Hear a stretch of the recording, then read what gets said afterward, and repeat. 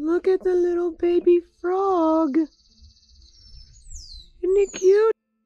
Welcome back, everybody. And today at Believe Homestead, we will be working on our passageway garden after me trying to get the chicks out of their coop so that they can get some fresh air outside the garage.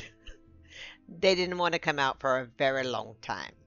Let's get this party started.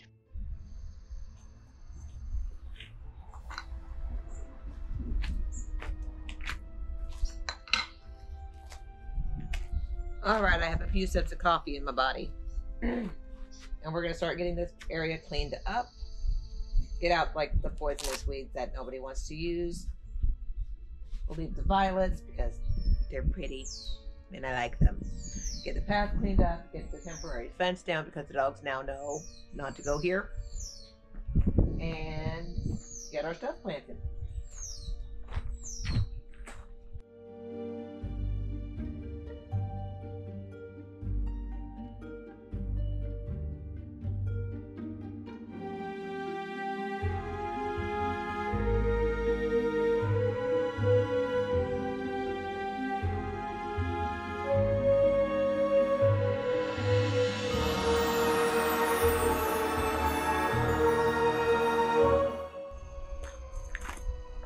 I was going to clean up that big pile of leaves, but I think there are bees nesting in there, so we're just gonna leave it alone.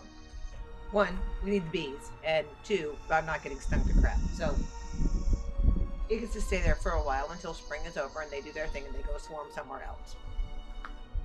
All right. So we'll get the path done next. I got that kind of cleaned up. I don't want to put a whole bunch of weed killer around here because we want to use these herbs. So this is just going to be manual for the rest of my life.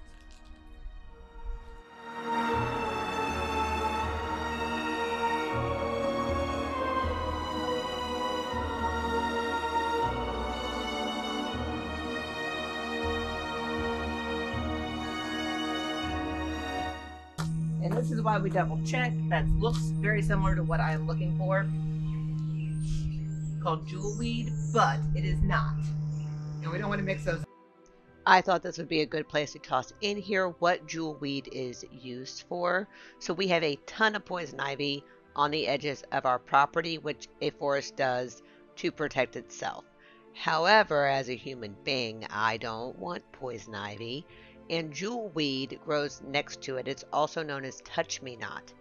And that jewelweed, that touch me not plant, is the antidote to poison ivy. So I have been searching high and low the entire property for jewelweed so that I can make sure it gets replanted and we can save it so that I can make a at home poison ivy salve for us because we really have a bad reaction to poison ivy, so we would like to keep that away from ourselves. Alright. We have elderberry over here. I do want to plant some flowers, this gets a fair amount of sun, where other places do not. So let's do some calendula.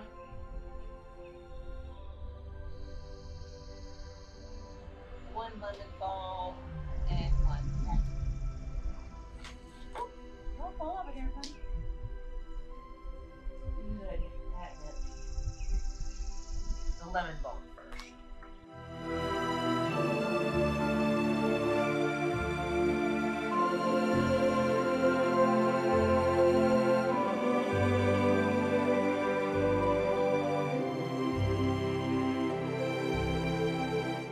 When I lived in the city, people would constantly ask me how I kept the stray cats away from anything I grew. So, what I did was I planted catnip everywhere. And this would attract the cats to the catnip, of course, but they would leave my other stuff alone. Catnip is actually really good for relaxation and calming you down. Where it may hype up a cat, it does the opposite for a human. So here I'm making sure to get the catnip planted in a good place so that it will thrive. And It is invasive, just like most of the mint family, so be careful where you plant it. I need invasive species in this passageway simply because very little grows here, as you can tell. I'm trying to turn it into something that is useful. However, it has proven to be a little difficult.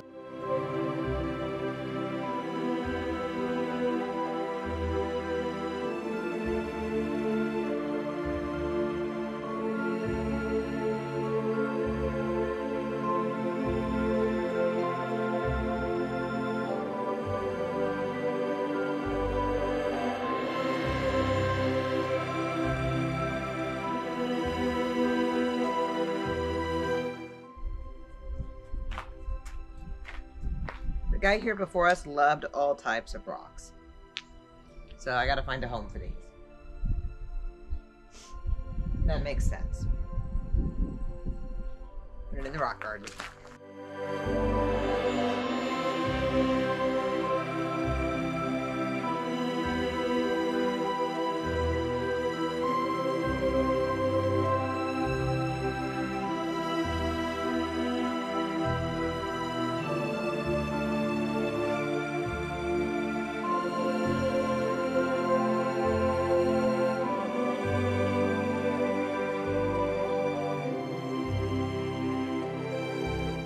Here, we're going to do a few more. There are some bulbs in there, but that's it.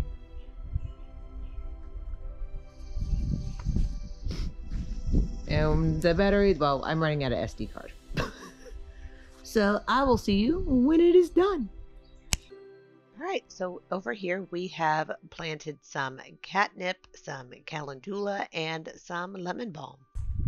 So a little later in the day, and we got that finished and I drug a whole bunch of stuff back to the greenhouse, brought a whole bunch of stuff up, cleaned up, and we drug the chickens out front in the front yard.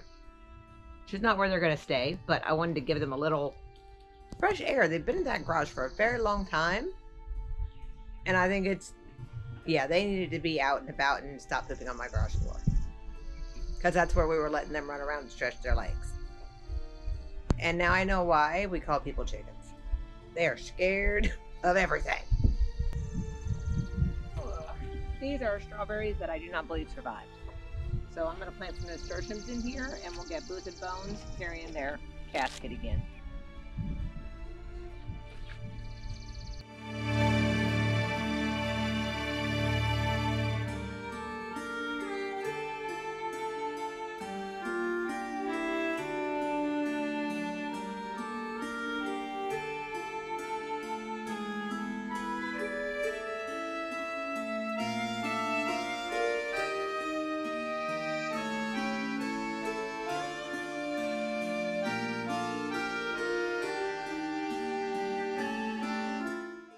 We're going to go there because it's flat and I think I can get the stakes in the ground.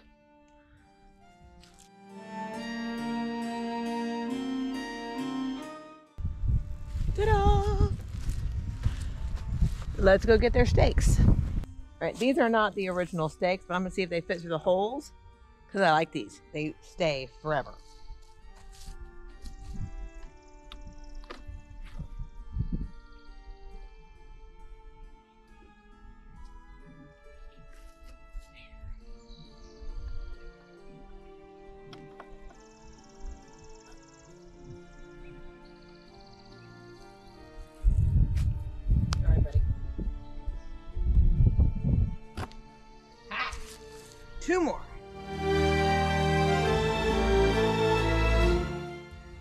And Bones are back.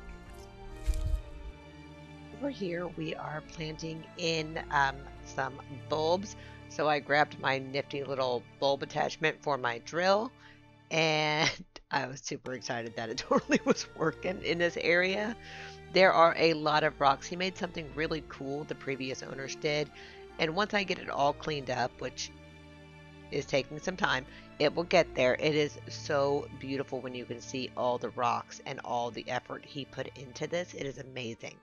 So I am trying to get bring this back to life with some uh I kind of forgot what I planted, y'all. Okay, so we have black surprise gladiolas.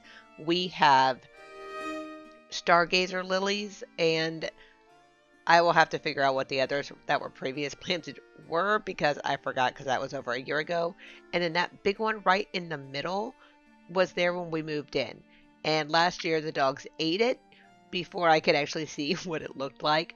So this year will be a surprise because whatever that big one in the middle is, we don't know what that looks like.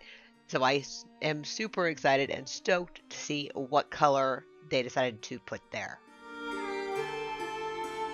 Thank you everyone for joining me today. I really do appreciate it. And as of this video, we are at like 312 subscribers, which makes me super happy. So thank you all so very much.